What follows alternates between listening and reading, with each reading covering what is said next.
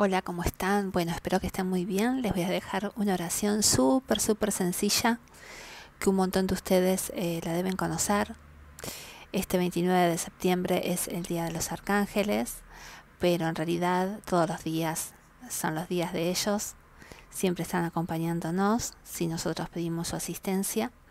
Esta oración es muy conocida, es muy cortita, se las voy a decir y después les voy a contar eh, en qué momentos pueden utilizar esta oración. La oración es la siguiente. Arcángel San Miguel a mi derecha, San Gabriel a mi izquierda, San Rafael a mis espaldas, para que con sus alas me cubran de todo mal, Arcángel Uriel al frente de mí, para abrirme los caminos, y sobre mí la gloria del universo celestial. Amén. Como les dije anteriormente, es corta, es les sugiero que la recuerden de memoria y la, la pueden utilizar en estas ocasiones. Por ejemplo, al salir de tu casa, especialmente cuando la casa se va a quedar sola, ora conscientemente y pide a los ángeles que protejan tu hogar. Cuando vayas caminando por un lugar oscuro o peligroso, recuerda pedir la ayuda de los arcángeles. Cuando notes algún comportamiento sospechoso a tu alrededor, di la oración y siente a los arcángeles a tu alrededor. Si tienes un proyecto que deseas realizar, la oración te ayuda a recurrir a la fuerza y bendiciones de los arcángeles. Antes de hablar en público o dar una presentación importante, ármate con la fuerza de los arcángeles diciendo esta oración. Cuando tengas pensamientos recurrentes de miedo o inseguridad, repite esta oración varias veces, visualizándote con los arcángeles a tu alrededor. Antes de una entrevista de trabajo, invoca a los arcángeles para que te ayuden a dar la mejor impresión a tus futuros empleadores. Cuando estés pasando por momentos difíciles en tu matrimonio, trabajo, salud u otros aspectos de tu vida, ora con estas palabras para que los arcángeles te protejan y te den fuerza para salir adelante.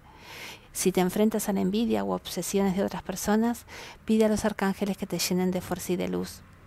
Cuando vas a viajar a otro país o lugar desconocido, ármate con el poder de protección de los arcángeles. Y por último, lleva una copia de esta oración en tu agenda o billetera para recordar sus palabras cuando las necesites. Recuerden que necesitan pedir para ser asistidos por ellos. El ángel de la guardia, de la guarda de ustedes, perdón, solamente intercede ante un caso de peligro inminente y si ellos saben que todavía no le llegó la hora para ir a otro plano.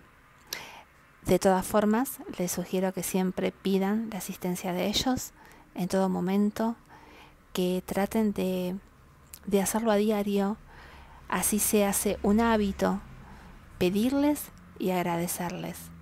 En mi caso siempre me sentí asistida por ellos, he tenido numerosas situaciones en las que me hicieron conocer que estaban acompañándome.